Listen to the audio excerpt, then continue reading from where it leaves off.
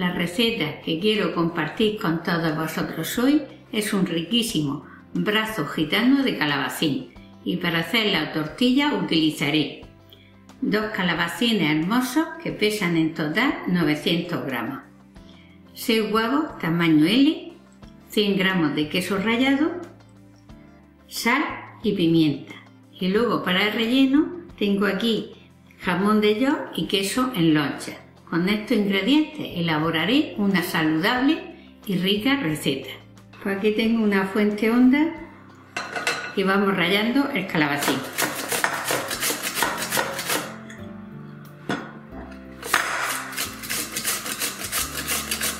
Cuando los calabacines están rayados, se ponen en una escurridera para que vayan soltando así su agua. Y los dejamos y mientras preparamos el resto de ingredientes. En otro recipiente hondo se ponen los huevos completos, se le añade la pimienta y la sal y se bate manual. Pues ya están los huevos líquidos y ya se le añade el calabacín. Ya mezclamos y añadimos el queso. Cada uno puede utilizar el que desee.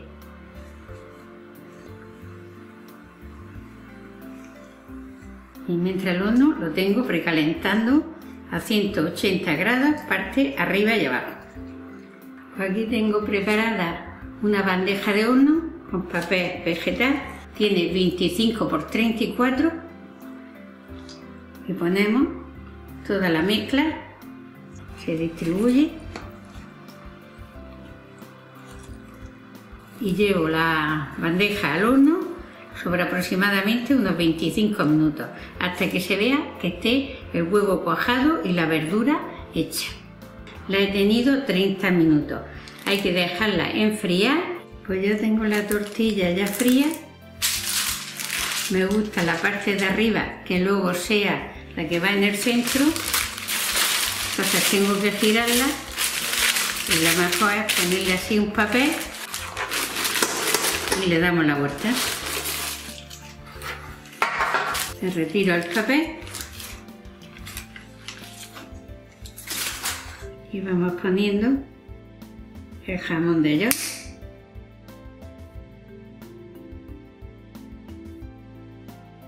Y hacemos exactamente igual con el queso.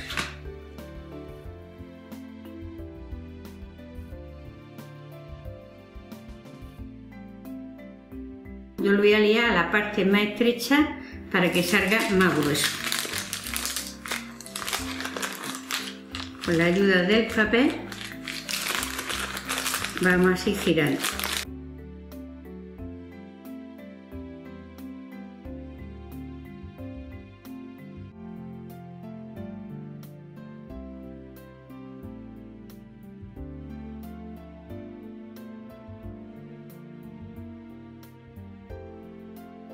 Con la parte de la unión para abajo lo dejo así en una bandeja y así con el mismo papel lo llevo a la nevera una hora para que coja la forma el brazo gitano, así de rollo.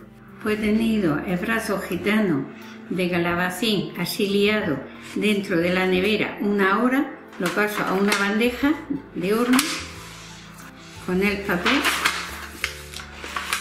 el horno a 180 grados y así con el papel lo tendré pues entre aproximadamente unos 10 minutos para que se caliente el jamón de ellos y se funda el queso.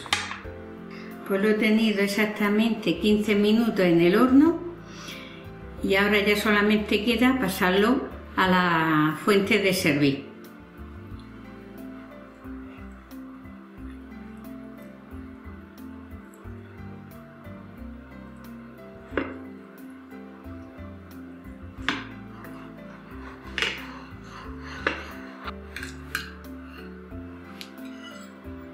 Aquí tenemos una manera muy rica y saludable de preparar este original brazo gitano de calabacín.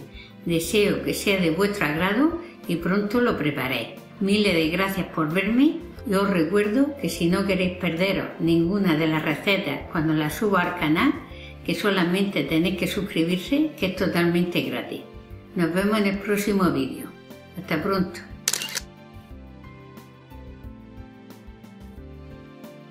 Suscríbete y no olvides pinchar en la campana para recibir las notificaciones.